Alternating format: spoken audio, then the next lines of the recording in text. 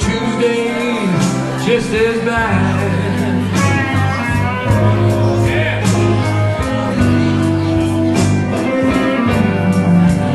Well, they call it Stormy Monday. You know Tuesday just as bad.